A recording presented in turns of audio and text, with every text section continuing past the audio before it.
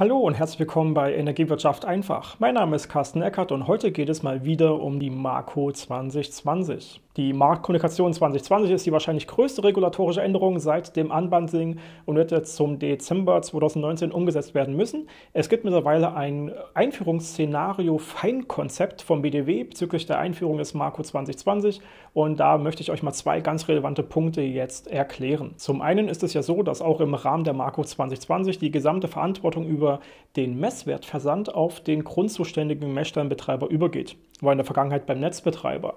Das bedeutet also auch, dass zum 1.12. jetzt der grundzuständige Messstellenbetreiber überall als eben GMSB eingetragen sein muss.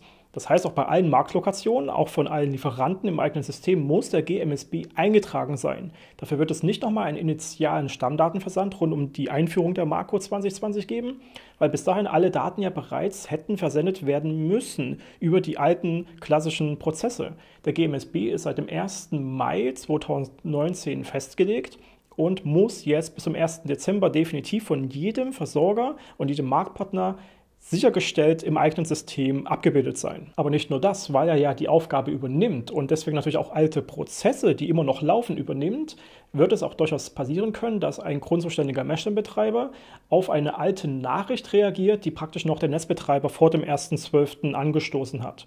Das bedeutet aber auch, dass wenn zum Beispiel ein Messstellenbetreiber eine Nachricht jetzt storniert und dementsprechend eine Stornomeldung vom GMSB zum Lieferanten kommt und der Lieferant sagt, hm, die Ursprungsnachricht war vom Netzbetreiber, dann darf der Lieferant dieses Storno nicht ablehnen. Klassischerweise würde man jetzt sagen, hm, es ist nicht genau zuordnenbar, das ist offensichtlich nicht vom selben Versender und deswegen lehne ich dieses Storno ab. Das darf der Lieferant im Rahmen der Marco 2020 Einführung nicht machen. Er muss das Storno vom Meshbetreiber auf eine Nachricht des Netzbetreibers anerkennen weil eben die Aufgaben des Netzbetreibers hier an den Messstellenbetreiber übergegangen sind. Der zweite wichtige Bereich ist die eigentliche Umstellung. Wie immer muss bei großen IT-Systemumstellungen der Energiewirtschaft eine kleine Downtime eingerechnet werden, also ein Systemstillstand, in welchem man sich darum kümmert, die Daten jetzt ganz konkret umzuwandeln, nur noch neue Varianten umzusetzen, praktisch das IT-System live zu schalten und dementsprechend werden für einen gewissen Zeitraum Nachrichten nicht mehr versendet oder zumindest nicht mehr angenommen.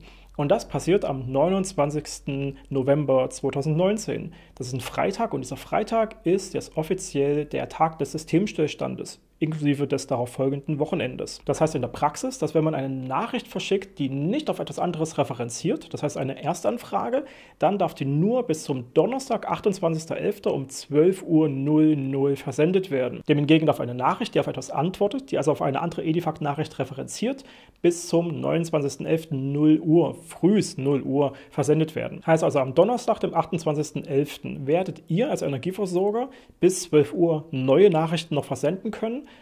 und zwischen 12 und 23.59 Uhr nur noch Antworten auf vorher praktisch vom Marktpartner eingegangene Nachrichten verschicken dürfen. Am Freitag dann, 29.11., wird bis inklusive Sonntag spät nachts ein offizieller Stopp der gesamten Marktkommunikation stehen und der Freitag, 29.11., wird auch in den Feiertagskalender GBKE und GD Gas vom BDW aufgenommen. Dementsprechend gilt dieser Tag auch nicht mehr in der Fristenberechnung. Für Lieferantenwechsel und ähnliches ist der Freitag, 29.11., jetzt auch schon rauszurechnen. Das ist ein offizieller Fristenfeiertag im Sinne von GBKE und GD Gas. Aber Achtung, es gibt eine kleine Ausnahme, was die Gasallokationsaufgaben angeht. Für diesen Bereich, also für Gabi-Gasaufgaben, gilt der 29.11. nicht als Feiertag.